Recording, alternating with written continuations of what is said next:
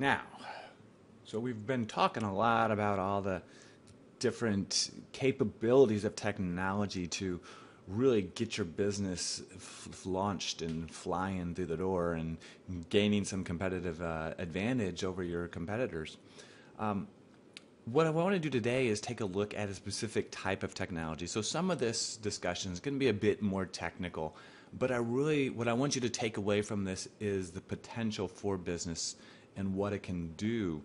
Um, and I think the, the, the the case at the very beginning, the one the Gear Up um, case, really I think captures an important, really important uh, trend that's going on within the industry that I think is everyone should be aware of. And it's something called cloud computing. So, and as the case talks about, that Gear Up is you know trying to cut costs. You know, their their goal is to compete competitively on price, so they're trying to keep their prices down. But their web hosting is one price that keeps, one cost that keeps going up and up and up. Well, Lucas, one of the uh, IT guys, suggests provisioning web servers and databases in the cloud. Now, if you don't know what the cloud is yet, that's fine. I mean, and apparently, in the case, a lot of the people he, Lucas was talking to had no clue what the cloud means. They may have heard the term, but they're like, what, what the heck are they talking about? But here's the important takeaway when you put your stuff, uh, your computing, in the cloud, you stop having to buy all the hardware yourself and you basically end up renting everything. So instead of having to buy a, you know, a $5,000 server, you can rent a server or server space for let's say and it's going to be it's going to be different for each individual company you work or you um, contract with. But let's say it's $50 a month plus 25 cents per hour for processing time used. That's it. Now, so $5,000 or $50 a month plus a few uh, extra dollars per month for the processing time. Now, there is some huge potential for savings here. And we'll get to that in just a minute. But if you don't understand how networks work, then this entire discussion about the cloud would be completely lost on you. Now, this is something I struggle with on a personal basis when I deal with my mother in law. And she's always requesting, you know, when I, I came over to help set up her home network, and she said, Well, my network, my, my Netflix isn't working. Well, the fact of the matter is, Networks was, uh, Netflix was working fine. It was actually her network that was not working correctly. And so I was able to identify where the problem was even though she didn't understand how all these technologies work together. She's pretty clueless on that. And there's a lot of people out there who are like that. If you know at least a little bit about how these things work and come together, you have a lot more power in communicating communicating with people and figuring out how to solve your own problems. So the things we want to cover in chapter 6 are what is a computer network? So a basic general definition. And we're going to look at what are the components of a local area network also pronounced or called a LAN, L-A-N. Question three is going to look at what are the fundamental concepts you should know about the internet. And then question four, what processing occurs on a typical web server? Question five, why is the cloud the future for most organizations? Now I'm going to do something a little different this time. I'm going to switch up questions one and two uh, even though the book starts with question one, we're going to start with question two to give you a little bit more grounding in the vocabulary and some examples. All right, so question two, what are the components of a LAN? Well, if you look at your own home network, and I encourage you all to do this, if you have a home network, go sit down and try to figure this out. All right, uh, some of this won't be too incredibly diff- difficult to do. Now, you probably have some sort of device, usually called a router, that allows all the computers to connect together. Now, this router might have wires going to your computer, or it might all be wire, wireless. Okay? Um, you probably have a printer hooked up somewhere. Again, the printer might be wired, but then again, it might be wireless. So that middle box there is your router, and it has various different pieces of functionality that it can handle. Um, and then there's also an outbound cable that usually goes to something like uh, usually goes to a modem, and then your modem is what connects you to the internet. So that modem might be a cable modem, it might be a DSL modem. Um, I don't believe anyone in this area would have a fiber optic modem, but that could be a potential uh, one as well. So to talk a little bit more about this, I went ahead and sketched up my own home office network. So it's kind of a crude diagram again, um, but I have a router and it has four wired ports. So I can put up to four wired, two, four wires into it. Now right now I only have one thing that's actually wired to it, and that's my work computer. Um, but my work computer is actually the Lenovo Helix. And what's nice about it is I can plug it in and it'll it'll to a docking station. My docking station has monitors and um, mics and all kinds of fancy stuff. So I can wire it, or it works wirelessly as well. So if I unplug from my docking station, which is wired to the router, then it starts working wirelessly. And then I can carry it around anywhere in the house and still continue to work.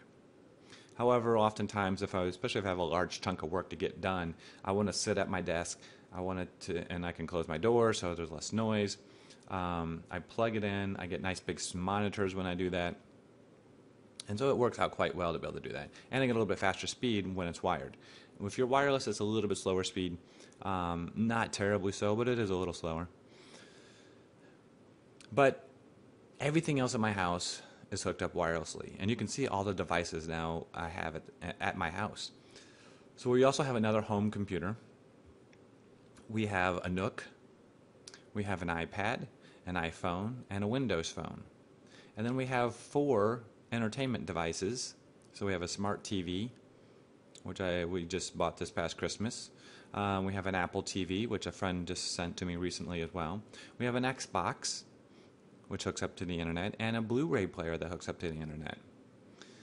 Now my printer isn't actually hooked up to the internet, but it is hooked up to our um, to the router so that all my computer, all my computing devices, so my home computer, my work computer, my Nook, my iPad, um, I haven't tried it with my Windows phone yet, but it probably could print to the printer. And so right now, you can see I have 11 devices that are hooked up to the internet. So, and this is a fun little thing that you can do.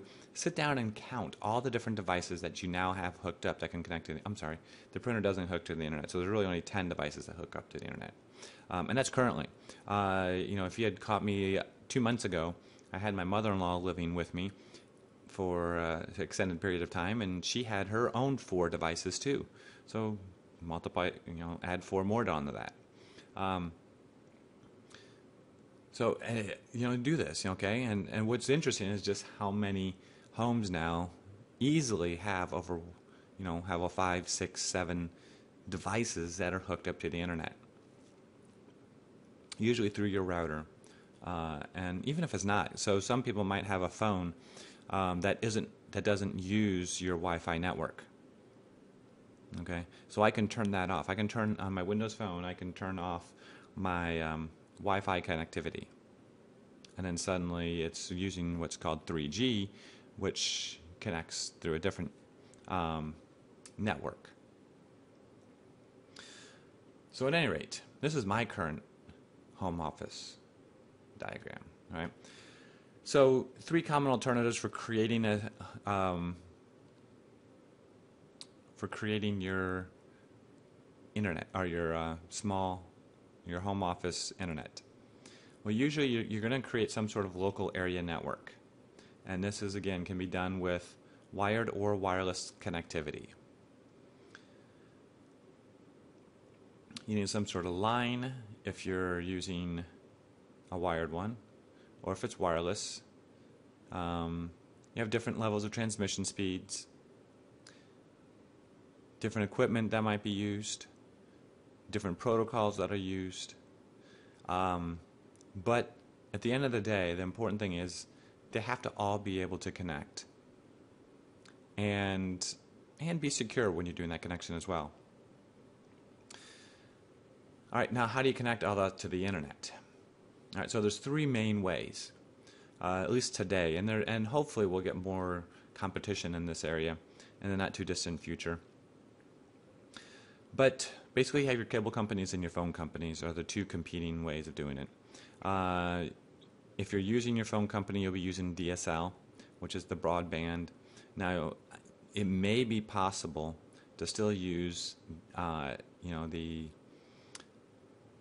the old-fashioned modem, um, and I don't even know if they have a specific name for it other than calling it uh, the narrowband um, connectivity.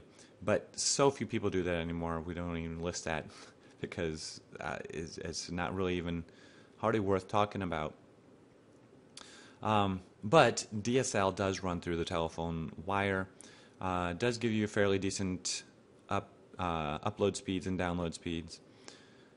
You do need a DSL modem to make that happen and a, and a subscription with the telephone company. Cable modem is very similar, except it's hosted by the cable company and usually comes in through a what's called a coaxial cable. Um, similar speeds as the DSL, might be slightly faster, but equipment used you need a cable modem and sometimes a cable TV box. Um, that the cable TV box is pretty rare now. Um, but you can also connect through a wide area network. That's what a WAN stands for. Wide area network wireless connectivity. Now, example of this, and I've seen my, a buddy of mine do this, is a device that will actually allow your computers to hook up to the telephone system. Right? So that's basically a wide area network. Um, you know, the cell phone capabilities reaches everywhere. So what they do is they take a device um, and he has this little device that's about four inches by four inches. He can put it on. He can basically, and he did this once when I was driving him somewhere. He put it on the on the dashboard, and suddenly his little computer had network connectivity, because the device connected the cell phone network to his wireless network, local area net, uh, wireless net, network. Um, and some people are doing this with their cell phones. They're just saying, well, you know what? Um, why pay DSL and cable I already have a mobile phone. What, I'm already using that service. Why don't I just combine all that service together and give myself a wide area network, um, wireless connectivity to the internet? Okay. Um, so there's a lot of different capabilities here. So so we're talking a lot about all these. What are these network stuff, right? So I'm giving you some examples of what's going on here. What is a network? Well, a network is, in the very simplest definition would be two or more computers that are connected together, a computer network, right? Um, so that they can communicate with each other. Now, computers don't communicate in the same way humans do. Obviously, they send electrical signals back and forth, usually in the you know um, as ones and zeros. Um, but they can also share with this passing of information, um, which can include things like sharing software, uh, peripheral devices, like a mouse or a keyboard or a monitor, um, and or processing power. So in some computer networks, you'll find that two computers are talking together and, and some will do some processing, some will do other processing, but they share the load. So again, this can be as simple as having two computers hooked together. And some of the first networks were designed like that. Now it's kind of rare today to have a network like that it can happen. So, what are the basic principles of a network? Number one, each computer must have a way to interface with the other computers, which allows it to send and receive information. And we'll talk a little bit about how they can do this interface. There's, um, but there must be some way they can connect right? Some device, usually. Some device that allows them to do this connection. All right, two, the network usually has at least one connecting device, such as a hub, switch, or router. So a network, now it is possible to connect two computers together directly, but it's rare. usually you have some device that allows you to put multiple computers together, but they all connect to the device, and the device. Then, so then, when you connect with another computer, you're connecting through this extra device to get there. So that's typical. You know, probably 99.9999% of the time, you have some device in there. All right, a network must have communications media to transport information. Basically, meaning there has to be some means of getting the information from one point to another. It doesn't just magically get there. There has to be some, either a physical wire or radio waves that are being sent that the sending from your computer to the device and from the device to whatever we're going to next. But there's got to be some means of transmitting that information. And four, each computer must have software or move, I'm sorry, not or move, to move information in and out of the computer. Again, so if you think of what is software, it's basically a set of rules or procedures.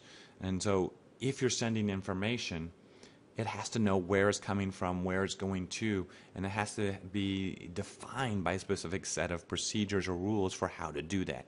Again, this is not magic this information doesn't move magically, right? Something has to tell it what to do. And if that thing telling it what to do for some reason doesn't tell it right, then you have a problem, right? But let's break this down a little bit and talk about each one of these. So the first one, a network interface. So what, what do you put on a computer to make that happen? Well, it starts with something called a network interface card. Right? Um, now, and there's a little picture of one down at the bottom. This is what you might have seen on a desktop, or you still can see on many desktops, is the network interface card. Now, today, a lot of newer devices have this built in. So if you see what's called an Ethernet port, and that's the little black. So if you look at that card down below, and there's that silver on the side, uh, that's the part that sticks out, that's visible, and there's a hole there for the for Ethernet cable, which is a little bit bigger than a phone jack, if any of you know even know what a phone jack looks like anymore.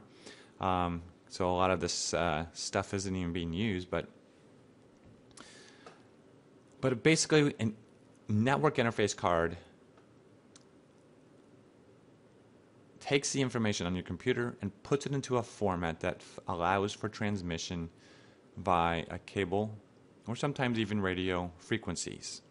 So if you're doing a wireless, so you can have a wireless network interface card, which wouldn't have this Ethernet port on here, but might have an antenna that allows to transmit information and collect it.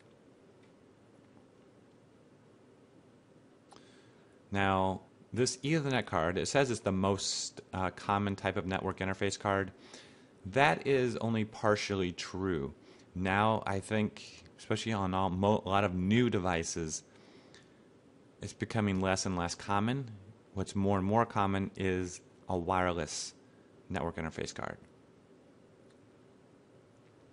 Especially with all the new tablets coming out. And a lot of them just don't have this Ethernet port on it. All right, we said we needed software, right? I think that was number four of our list of things. So there's got to be, uh, a, when communicating with both computers' operating systems and then and the network interface card, you need some sort of so network software. And this can be built into the operating system itself, and oftentimes is. But it provides the tools for managing the transmission of information, including things like security or managing the traffic. So what's important, what's, uh, what, what is allowed and what isn't on the network. Or the device, and we'll talk about the different network components and devices that can hook up a network they have their own set of software on them to do its own set of you know distinct um, capabilities. Right? But keep this in mind right? So there is software a set of instructions and rules that define how this information so like if i'm going to a, a web page from my browser there has to be a way when i click on a link that that link is then sent out of my computer through a wire or th- wirelessly to a component that will allow me to connect to the internet. And then once I'm in the internet, it has to go through a whole set of other devices to finally get, find the information out there on the internet and bring it back in such a way that it can display on my screen. All right, so there's a heck of a lot of stuff going on in this process. All right, so, so what are some of the devices that go into networks? Well, one common one is called a hub, and this is basically a device that connects computers into, into a network and repeats all transmissions to every connected computer. What does that mean? Well, basically, and, and this was far more popular, you know, 10 years ago to have hubs. Um, but you would have, you know, maybe four computers and you would plug them all into your hub and once they're all plugged in, when you send a signal from one computer to the other to another computer, basically what would happen is you would send all the information would go to the hub. The hub wasn't that smart, so all it would do is say, "Well, I see this signal coming from um, port the third port. I'm going to send it to one, two, and four. I don't know which one's right, but the one at the end will be able to tell based upon um, the instructions." So he sends it to one, two, and four. All three of the computers at the other end receive it, but only one of them processes it and does anything with it. That's essentially what a hub can do. Now, a switch is a little bit smarter than that. It's a device that connects computers, repeats transmissions, just like a hub did, but it sends it only to the intended recipient. So it's got a little bit more processing power on the device itself, but it reduces the amount of total um, information being sent to each of the computers at the end. So it can manage multiple conversations, um, can occur simultaneously between different computer sets. Only recipient computers sees each message, so you can see it's going to be slightly more secure.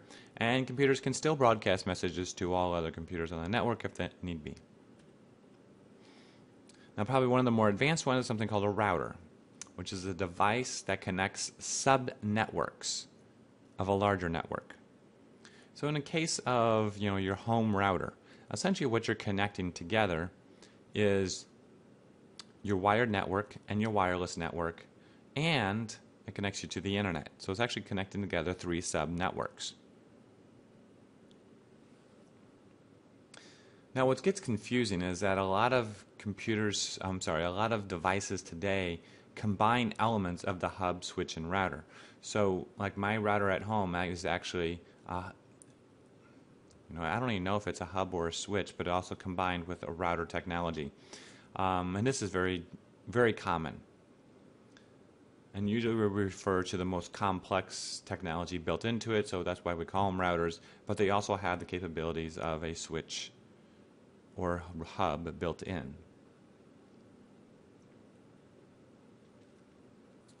So we've talked a lot about the local area network. So This is where they all, basically all the computers sit in the same physical site. So if you would walk into like a single office building, they would probably have all the computers on one local area network. Or on campus, here at ECU, we have labs. And in the lab, all the computers are on a single local area network. But let's say we wanted to connect up my uh, you know, the lab computer here in Bate Building with a lab computer over in uh, the medical center. Well, now you need something called a wide area network. And these are computers connected between two or more separate sites. So it doesn't have to be even around the world. You can have global area networks, but these can just be you know, maybe a mile away, maybe even, you know, 100 feet away the buildings are, but you're on different locations, so you got two different networks that they're on. But you still want them to be able to communicate with each other, so you create something called a wide area network. Now, there's slightly more sophisticated technology that goes into building a wide area network. I am not going to get into that, and mostly because you guys, this it, it won't matter to you. This is the, it tends to get far more technical than what most business people even care about. But just know that you know when people refer to the WAN or the wide area network, that's what they're basically saying. They're saying we're, t- we're connected these computer networks together um, from different locations. Now, the internet. Oh, yes, the internet. The internet, the best way of, the, probably the shortest and most concise definition of the internet is that it is a network of networks. Now, so this is an important definition. It's a network of networks. So basically, they use a specific set of standard ways of communicating with each other. And you have a lot of networks that connect together using this standard form of communication. And because of that, we can share information across these different networks. But the internet is just one big network. Ginormous, the biggest network.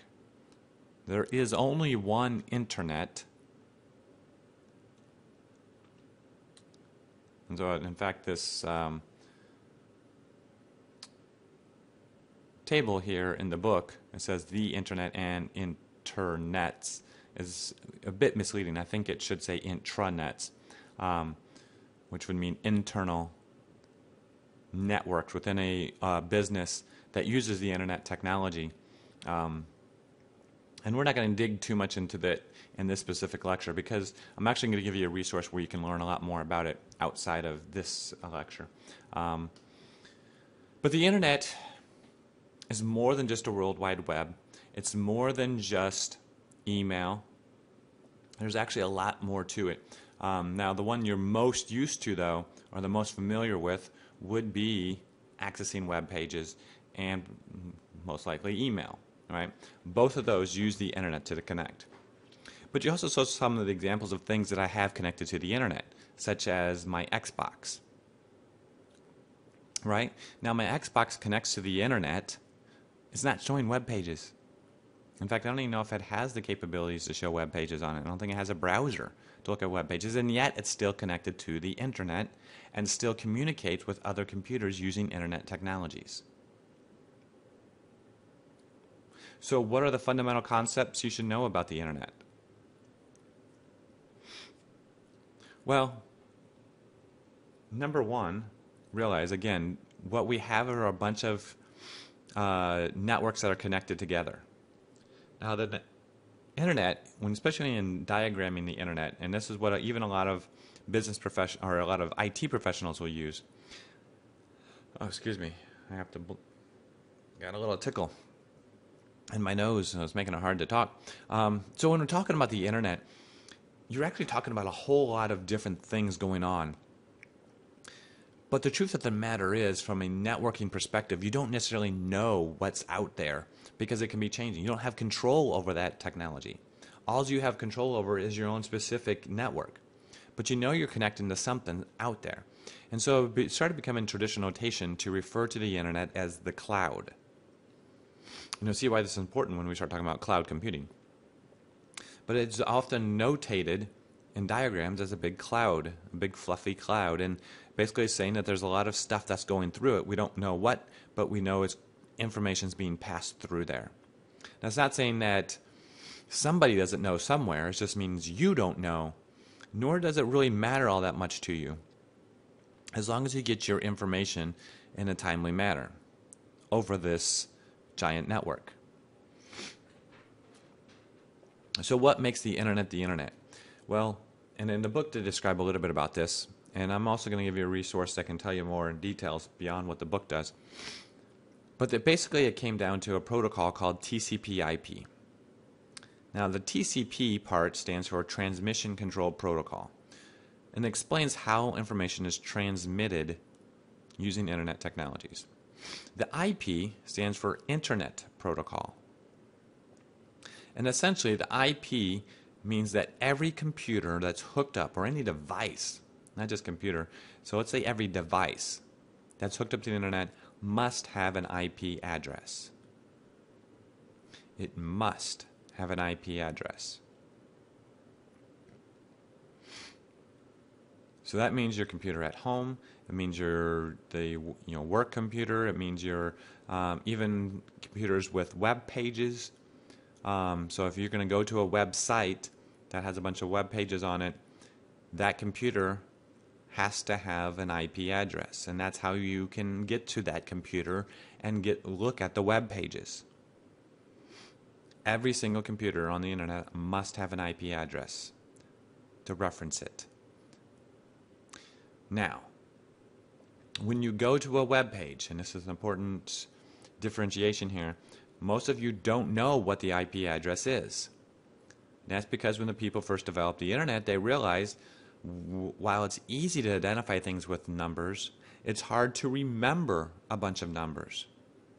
Just like it's kind of hard to remember a whole bunch of phone numbers, right? You know, if you were to ask me how many phone numbers do I know, I'd say four. That's it. I know four. I know my own phone number. I know for my cell phone. I know my work phone number for my office. I know my wife's phone number. And I know my parents' phone number. All the other ones I look up, right? And how do I look them up? Well, if I have my phone handy, I look up the phone number by looking up the people's names. Well, the same thing kind of happened with the internet. It was too hard to remember all the IP addresses, all these uh, numbers that reference computers. So, what they did is they started making up names for the server where the information was. So, all Google.com does, so if you type in Google.com into your browser, the Google.com just says, when you type it into your browser, it looks for the IP number associated with that domain name. Because those are called, google.com is a domain name. And so it's a name, and you just look up a number associated with the name, you go to that number, you find the Google web page, and it brings it back to the browser. And how does it get that information from one location to another? It does it through this cloud of technology. So there's lots of technology going on in there. There's several routers and gateways and wires, different types of wires, different types of commu- way of passing information over a vast uh, distances before it shows up in your specific browser. So you want to learn more about this, go watch my lecture, uh, lecture on internet uh, architecture um, on YouTube, where I break it down in more details.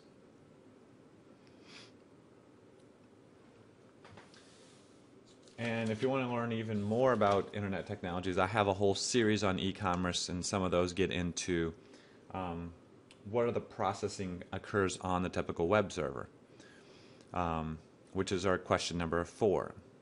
Um, I'm not linking to it here because for me, that's not the most important thing for you to spend your time on researching. There are some useful things to um, do read the chapter and the section of the book on that, but it's not anything that I can really talk about meaningfully in a lecture like this. All right, so I'm going to go ahead and skip ahead to question five because to me, this is where kind of the rubber hits the road for a lot of you guys, which is understanding the future of networks. Now, so we talked a little bit about what the, what the cloud is. So the cloud is essentially all of these resources on the internet.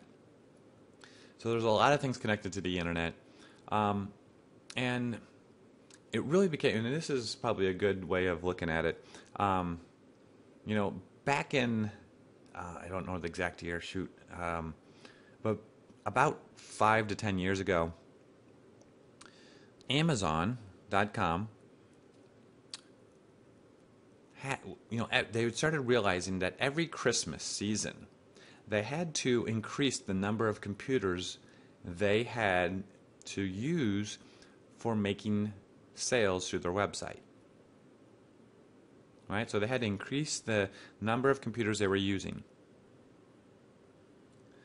But after the Christmas season was over, some of these computers that they had been using are now sitting idle doing nothing. right? Because they don't have the same volume, the same number of people trying to make transactions all the time. So while you needed it during the Christmas season, afterwards, you know, they're just sitting there. And so Amazon basically asked this question. Okay, we have all these computers that we've purchased um, that are now doing nothing. Is there any way we can make money off of these? And I said, well, yeah. Why can't we just rent it out? And so they developed a software that would allow them to um, rent the access to their computing resources so other people could basically rent these computers. And so now they could rent out the computers that weren't being used for nine months out of the year. So maybe from you know February up to October.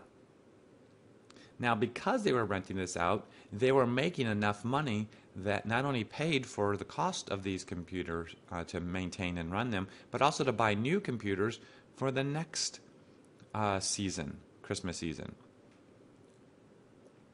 And so they developed this business model where they can continually increase their computing resources and having other people help pay for it, which is bloody brilliant if you ask me. Um, so, what is the cloud? Well, cloud computing is really about renting out computing resources, but doing it through the internet. And it's supposed to be very elastic. What does that mean?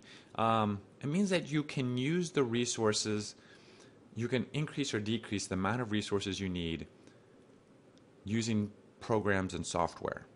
You can do it very, very quickly. And so then you can only pay, you would only have to pay for the resources that you used. Sounds pretty cool, right? You only pay for the resources that, that you use. So why buy a computer? And now think about this. You know, how many of you own a computer that sits at home? How much is it used at night when you're asleep? I mean, seriously, how often? You know, how often is your computer sitting idle doing nothing? Doing nothing.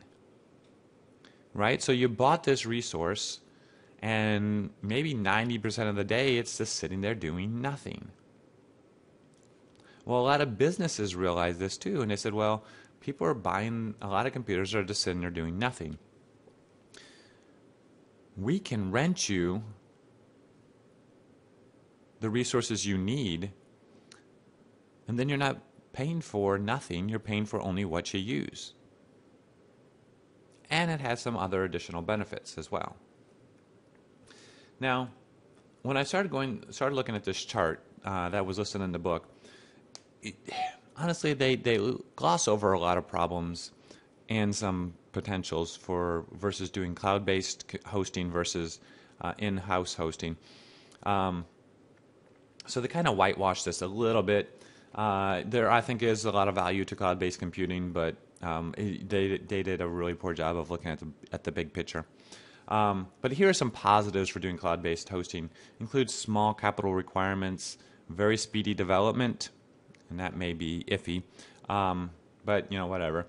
Uh, superior flexibility and adaptability to growing or fluctuating demand, and that is very important for a lot of businesses, especially smaller businesses who may see a lot more flexibility and cannot adapt uh, over long periods of time. Uh, has a very known cost structure, so you know how much you'll pay per, you know, uh, processing unit that you use. Possibly has the best of breed security and disaster preparedness. Now, this depends on the company you're working with. You know, you got to hope that they have the best of breed. Um, you got to do your research first. There's no obsolescence. So, in other words, after you buy and start using something, it doesn't become obsolete because if you're renting it, they can automatically upgrade it as you're going. So, you know, like if you go out and buy Office 2010 and in three years they come out with Office 2013, guess what? You have to upgrade. Right? Otherwise, you'll be using obsolete software. Well, with cloud based hosting, you can overcome that. And then there's industry wide economies of scale and hence tend to be cheaper. Now, what are some positives for in house hosting? Well, they can include, include greater control of your data, like where it's located, have a much greater in depth visibility of security and disaster preparedness. All right, but they missed a couple things too, such as invested capital stays with the company. Otherwise, otherwise, every time you know money goes out the door, it's gone, and you never see it again. You also have much greater flexibility with how to use the servers. You know, and I saw this recently um, with a you know um, development of a piece of software that was going to be used, and they wanted to have email functionality included. Well, there were some problems with how the email was the email server was working, so that it could only send out a few emails at a time um, before it caused a problem. Now, if this was something that you built in house, you wouldn't have this limitation. But because it was a cloud based solution, they were limited by the number of emails they could send out at any given time. Again, and this is just a case where the textbook was kind of whitewashing the whole cloud based computing thing and missed some major advantages of in house hosting. Um, the same thing with the negatives, right? So, some problems with cloud based hosting include dependency on the vendor, um, loss of control over your data location, little visibility into true security and disaster preparedness capabilities. You know, and they can make promises, but when especially something like disaster preparedness, you won't know if the disaster preparedness is really what they say it was until a disaster happens, and then it might be too late. Um, in-house hosting, though, does also have a significant um, problems, including significant capital up front. So yes, yes, that capital stays with you, but you still have to spend it. Um, usually there's significant development effort, annual maintenance costs, ongoing support costs, staff and trained personnel, increased management requirements, because you not only have to manage the, your users, but you also have to manage the IT staff. Can be difficult or even impossible to accommodate fluctuating demand so if you suddenly have a great increase in demand of your technology, can you meet it? There can be some cost uncertainties, especially if like if a server a server breaks down, you got to run out and buy a new one, and things become obsolete. Now that being said, there's also some negatives that I think the book missed on cloud-based computing, because it's interesting that they talk about the you know the costs of in-house hosting and, and completely ignore ongoing expenses of cloud based hosting. I mean, it's just inappropriate to do that um, if you're going to do a true balanced look at them. You also have less flexibility in the use of systems. And this is partly due to the dependency on the vendor, uh, but a dependency on their um, technology and what they have available. And you might also experience increased switching costs. So, yes, you might have a vendor, but switching to a new vendor may be difficult. So you get kind of locked in. And that can be a major negative if you start having problems with your vendor.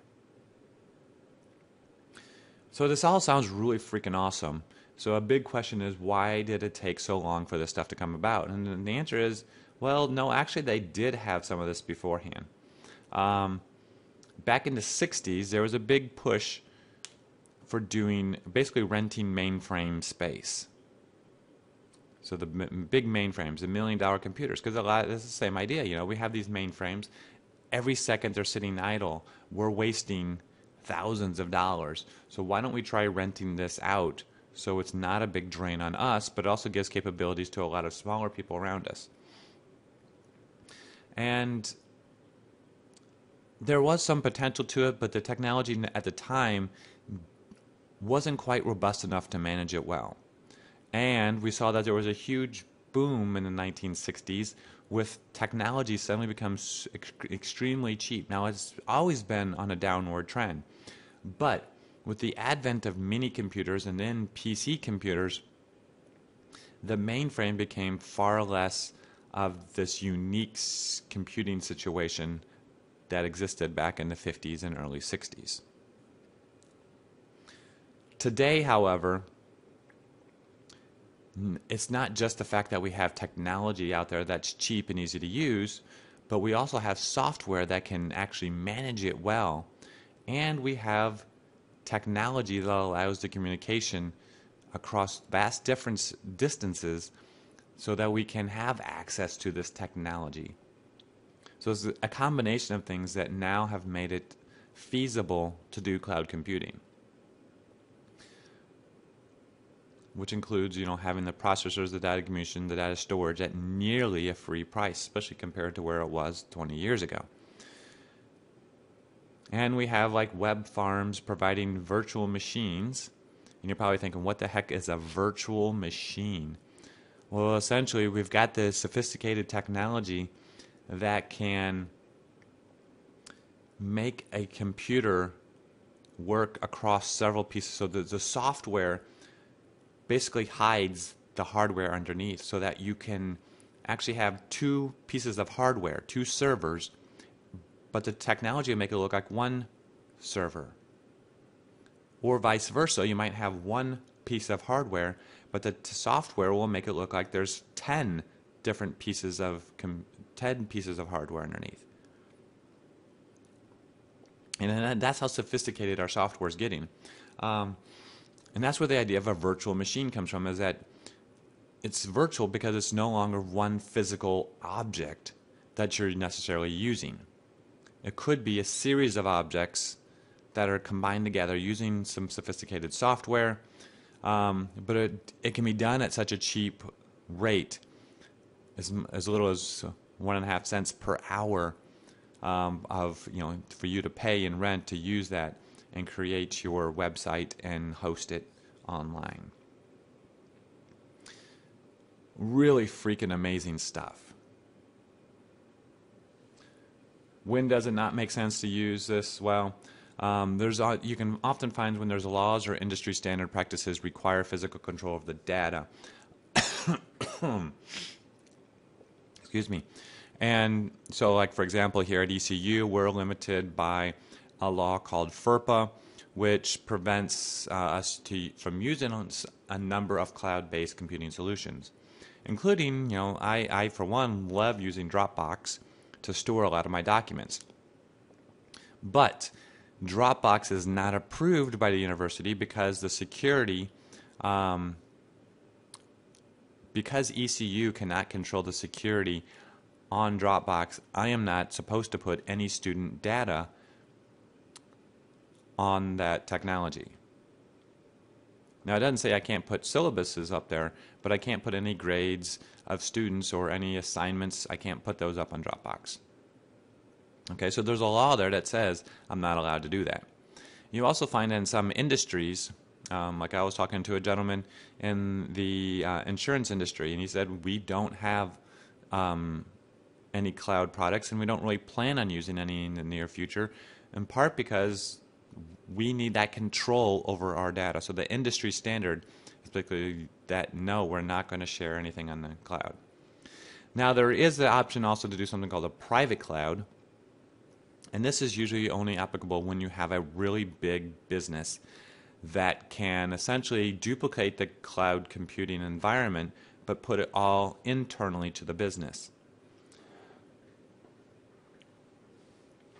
And so by, you know, a really big business that has, you know, 10,000 or 20,000 or 30,000 employees in multiple different, um, you know, functions of the business, you can essentially duplicate this capabilities. All right.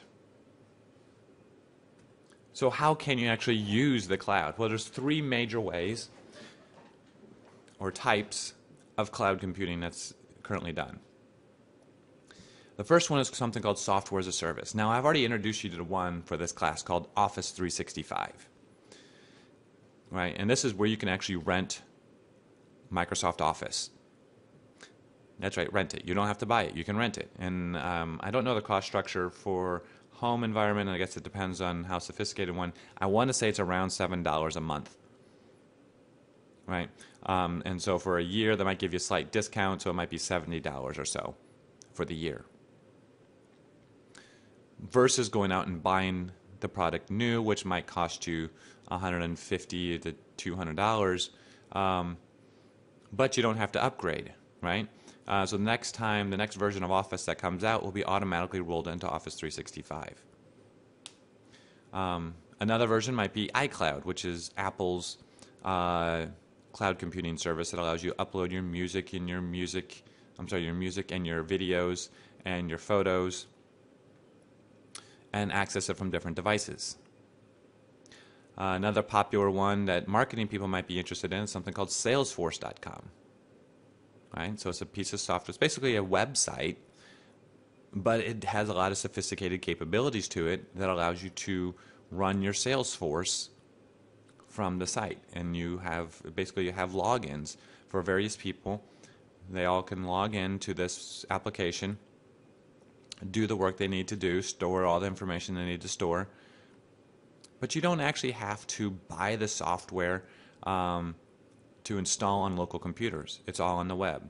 And so you're especially, you know, when you're dealing with a lot of salespeople, a lot of times they're traveling.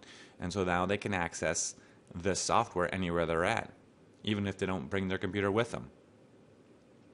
All right, secondary type is something called a platform as a surface, uh, service. It includes things like Microsoft Azure, Oracle On Demand. Um, it gives you the capabilities to do development of software. So it's not just the raw hardware technology. Uh, they usually have some capabilities built into it so you can do some more sophisticated development.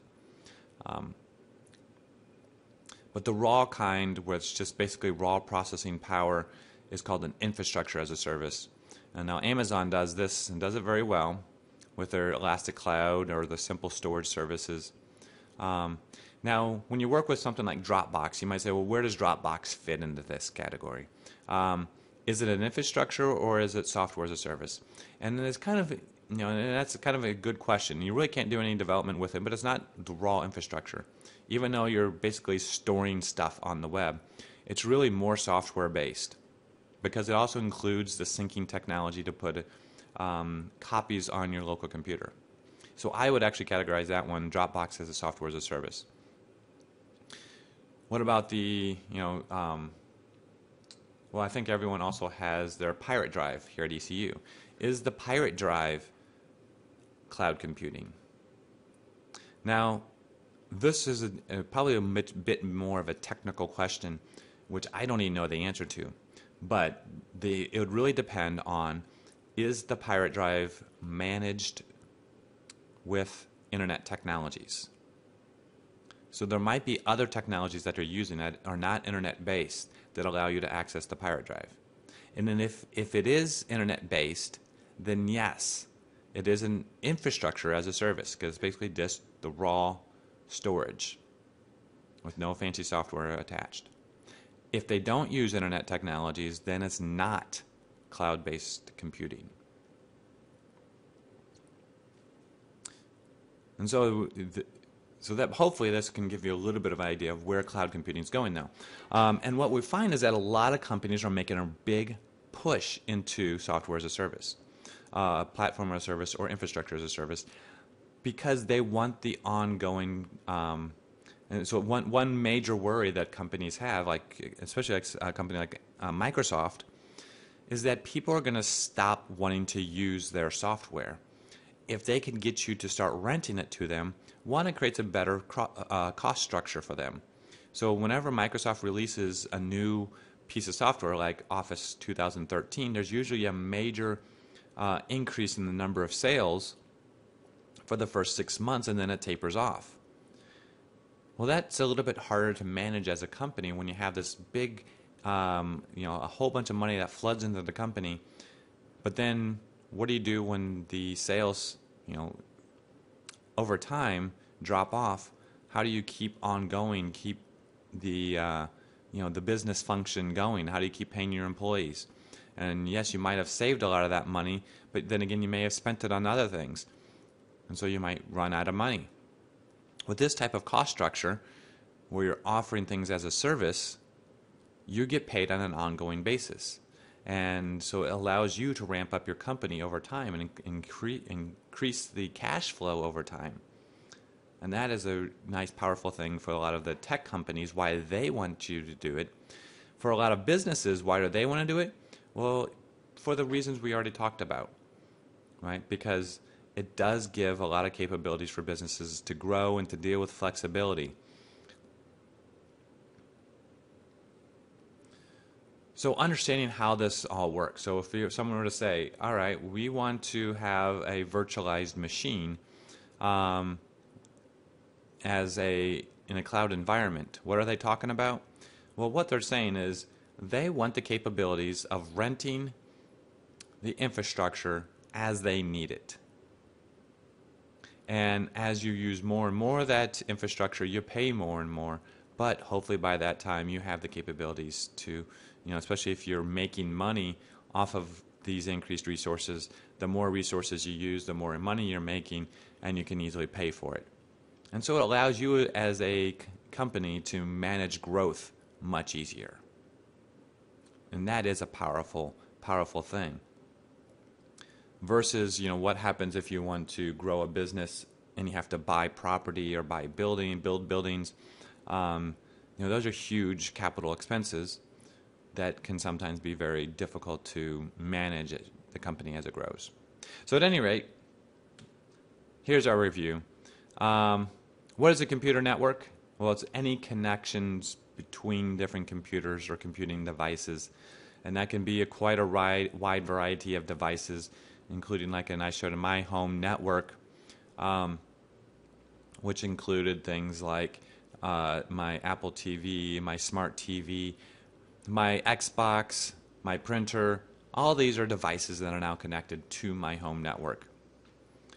And they are connected. That home network is something called a local area network, or also pronounced LAN. And that includes different components um, the physical devices such as hubs and routers and switches.